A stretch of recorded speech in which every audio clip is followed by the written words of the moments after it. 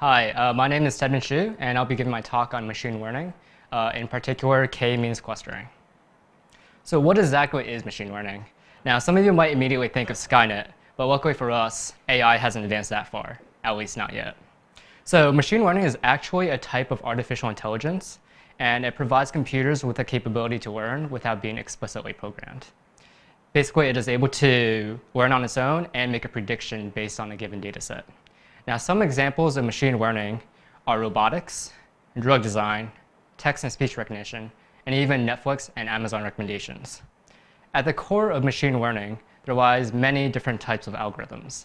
These algorithms can be classified into three categories. Supervised machine learning, unsupervised machine learning, and reinforcement machine learning.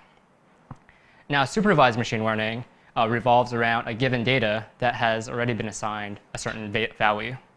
It then searches for patterns and is then able to make predictions for future data.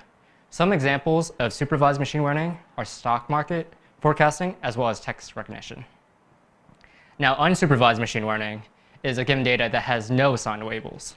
Uh, the purpose of unsupervised machine learning is to organize the data into cluster groups. And this cluster, these clusters, you can then use it to uh, identify the structure of the data for future data analysis.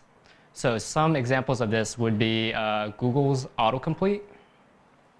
Now, reinforcement machine learning um, is you have a set of data, and each set of data, um, an action is chosen. And afterwards, uh, the machine is then rewarded based on the action that they took. So with this, the algorithm, algorithm is allowed to learn and try to achieve the best reward. Uh, so this is very commonly used in robotics. So I will be, I will be talking specifically about the k-means clustering algorithm. Uh, it is one of the most commonly utilized unsupervised learning machine, unsupervised learning algorithms. It is iterative and non-deterministic, and it groups a set of data into clusters based on a predetermined uh, number of clusters k. So here um, you can see that there is, uh, each point is a set of data, and um, using, running the algorithm it's able to cluster the data based on uh, which groups are more uh, related to one another. So some examples of k-means clustering. You've got Wikipedia articles. So for example, if you search Wikipedia for an apple, uh, you might get all sorts of different apples. You have the apple fruit, you have Apple records, uh, and you have companies, Apple. So um, by using the k-means um, clustering algorithm, it's able to divide them into uh, different categories. So you'll get a cluster of fruit categories, fruit articles, a cluster of uh, music articles, a cluster of company articles. Uh, it's also very popularly used in search engines uh, like Yahoo and Google. Um, basically, if you make a search query, uh, it, can it will try to cluster that search query with the results and try to find the most desired result. So if you have a, a really good algorithm, um, it's more likely that you'll get your desired result on the very first page. Now for data research, um, it's also very important because it will be able to cluster uh, the useful and unuseful data. That way you don't have to uh, spend a lot of time filtering through large quantities of data.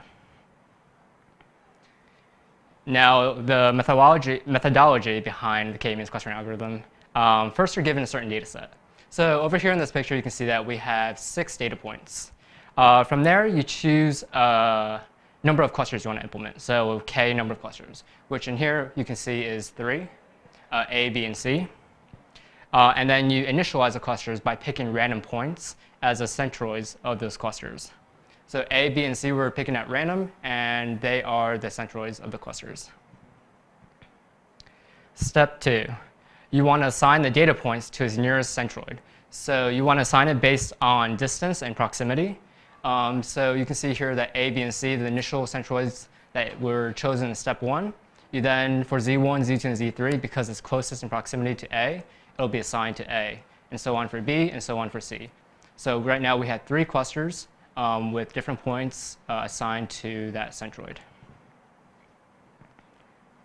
Now, finally, for step three, you want to update the centroids. So initially, the centroids were uh, chosen at random. But now uh, that we have points assigned to it, we can now update the centroid. Uh, the centroid is basically the mean of all the data points associated with that cluster. So you can see that uh, for A, it shifted over, uh, B is shifted over, and C is shifted over to be the centroid of those um, datas. Now the algorithm itself is very iterative. Um, so it'll, you'll want to keep repeating steps two and three. So now that we have chosen, uh, now, now that we have updated the centroid, we want to reassign the data points. So um, since the centroid has been moved, you want to uh, reassign the data points, the ones that are closest to the centroid. So you have new, completely new different clusters. Uh, and you'll after that, you'll continue to update the centroid with those new data points. So basically steps two and three over and over again. And finally, um, convergence will occur. So convergence occurs when the centroids no longer move and the data points no longer shift in between centroids. So my next slide will be an example of the algorithm being applied to a dataset, and hopefully that will clarify uh, the iterative process. So right here, you can see that uh, the k number of clusters here are four. Um, four points were chosen initially at random, and then points are, the data points are assigned based on proximity to that centroid. Uh, as the data points are assigned, the centroids continue to move based on the data, so the data points assigned to it, and so on and so on. So finally, when it converges, you'll see that the centroid no longer moves, and the data points no longer shift between the clusters. So you can see here that the results seem pretty accurate. Um, you have four uh, pretty well-determined clusters. Now, in order to accurately determine the structure of the dataset, it's pretty important to choose a good K uh, clusters. So how do you determine that? So a good K, unfortunately, um, one of the ways is trial and error. If you pick a K that is too small, it'll have too large of an average distance to the centroid. If you pick a K that is too big, uh, there will be little improvement in average distance from the previous Ks. So one method to choose a good K value is called the elbow method. So here you can see that uh, the bottom, it's, there's a plot. It plots the number of clusters K to um, the average distance to the centroid. So initially, at the beginning, you can see that it drops drastically, uh, but eventually it begins to level out and it shows very minimal improvement. So at that point, um, it is called the elbow point. The elbow point is considered to be a very good K because it has a low average distance uh, without having too high of a K value.